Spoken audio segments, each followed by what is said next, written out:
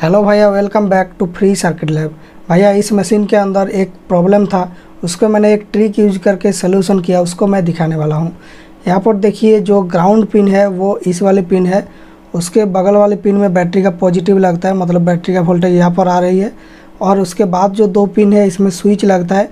तो स्विच से होते हुए फाइनली बैटरी का वोल्टेज यहाँ पर आ रही है।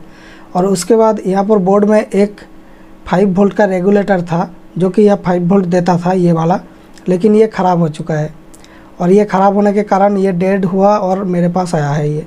तो मैंने इसको एक ट्रिक यूज़ करके सोल्यूशन किया क्योंकि एग्जैक्ट वो वाला आईसी मेरे पास नहीं था। वो ट्रांजिस्टर नहीं है, आईसी होती है वो।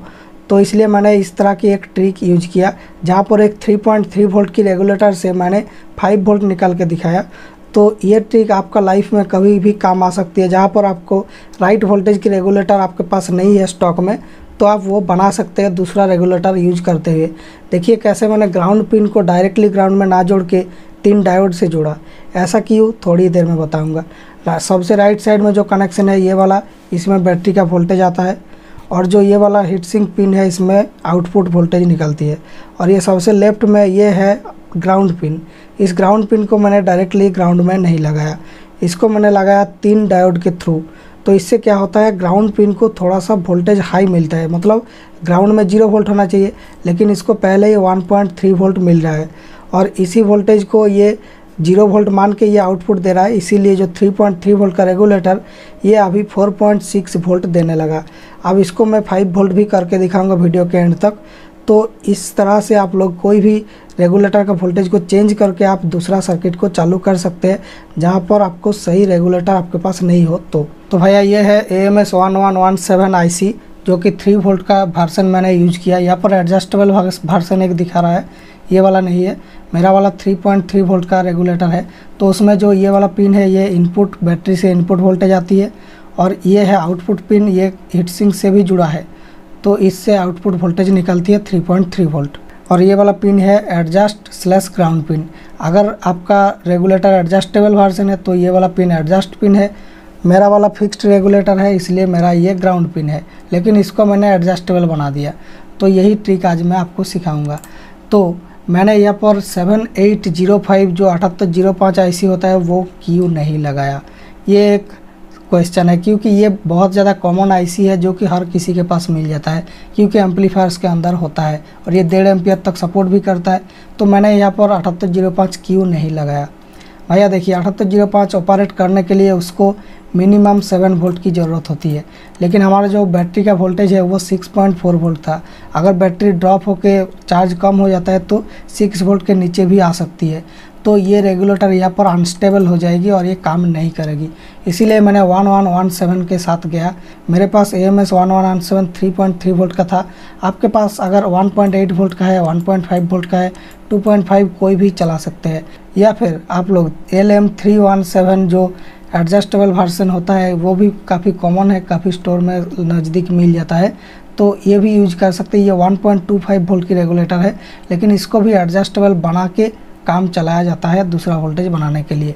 लेकिन मैंने यहाँ पर क्या किया बेसिकली जो कंपनी भी ऐसा रिकमेंड करता है करने को, अगर कभी एडजस्टेबल करने की ज़रूरत पड़े, भले ये तो एडजस्टेबल रेगुलेटर है, यहाँ पर देखिए दो रजिस्टर लगा दिया, जो कि इसका ग्राउंड पिन को थोड़ा सा वोल्टेज में बूस्ट देता है।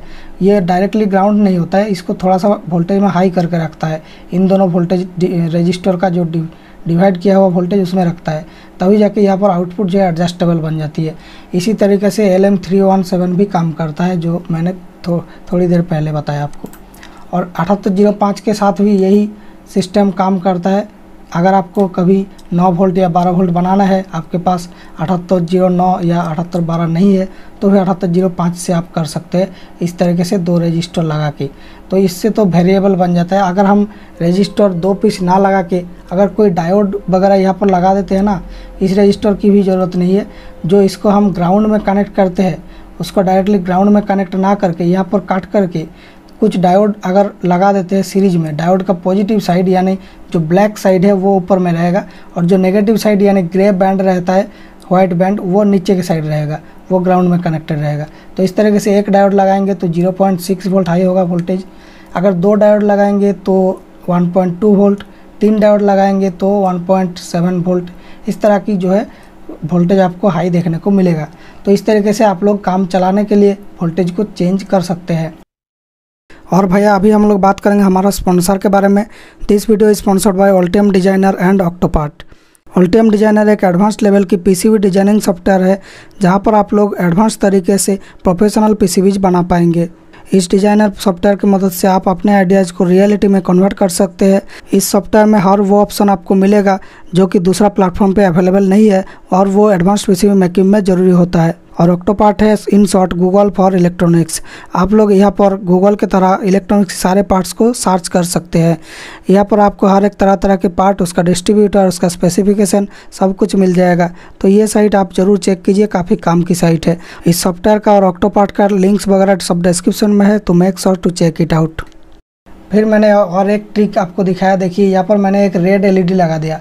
रेड एलईडी का नेगेटिव जो है एक्चुअल ग्राउंड में है और पॉजिटिव जो है एएमएस का ग्राउंड में है, जो रेगुलेटर उसका ग्राउंड में। तो देखिए रेड एलईडी हमारा 1.6 वोल्ट ड्रॉप कर रहा है और आउटपुट में हमें मिल रहा है 4.97 वोल्ट जो कि 5 वोल्ट से बिल्कुल करीब है। तो इससे क्या होगा? ये मशीन को पता ही नहीं चलेगा। आपने दूसरा आईसी लगा के ट्रिक यूज़ करके इसको सोल्यूशन किया। तो यहाँ पर तीन डायोड की कोई ज़रूरत नहीं है। आप एक रेड एलईडी लगाएँगे तो 1.6 वोल्ट बढ़ेगा वोल्टेज अगर ग्रीन एलईडी लगाएँगे तो 2.8 वोल्ट बढ़ेगा। ब्लू एलईडी में भी 3 वोल्ट के आसपास बढ़ता है। वाइट एलईडी में भी 2.8 वोल्ट बढ़ेगा। तो इस तरीके से आप लोग काम चला सकते हैं। और हाँ भाई, एक बात मैंने आपको बताना भूल गया कि जो A M S one one seven regulator है, ये मैंने क्यू यूज़ किया यहाँ पर? क्योंकि इसका जो ड्रॉप आउट है, वो लो है। लो ड्रॉप आउट वोल्टेज जो अठहत्तर ज़ीरो पाँच देखा, उसमें drop out voltage two volt था। पाँच वोल्ट का रेगुलेटर मिनिमम सात वोल्ट माँगता है। तो उसके लिए ड्रॉप आउट वोल्टेज हो रहा था टू वोल्ट लेकिन A M S one one one seven के लिए drop out voltage guaranteed 1.3 volt के नीचे है। ये कितना एम्पियर में? ये 1 एम्पियर आउटपुट करंट में है। अगर आपका आउटपुट करंट इससे कम है, मानिए कि 100 मिली एम्पियर है तो ये वोल्टेज और कम होती है। तो इस तरीके से क्या होता है, ये बहुत ही ज़्यादा सूटेबल रहता है जब आपका इनपुट वोल्टेज का हेड रूम आउटपुट से बहुत कम है। मतलब यहाँ पर जो सिचुएशन हुआ था इनपुट वोल्टेज 6.4 वोल्ट आ रहा है, हमें आउटपुट में देना है 5 वोल्ट तो लगभग 1.4 वोल्ट हमारे पास हेड रूम था। तो इसीलिए अठहत्तर ज़ीरो पाँच वहाँ पर मैंने नहीं लगाया ताकि वो अनस्टेबल हो जाता। इसलिए मैंने एएमएस के साथ गया है। तो ये वीडियो और ये ट्रिक आपको कैसा लगा, कमेंट्स में बताइए। अगर आपको ये वीडियो पसंद आया, वीडियो को लाइक कीजिए, शेयर कीजिए फ्रेंड्स के साथ। थैंक यू फॉर वाचिंग मिलेंगे नेक्स्ट वीडियो में। अगर ऐसा ही इंटरेस्टिंग नॉलेज आपको पाना है, हमारे चैनल के साथ जुड़े रहना।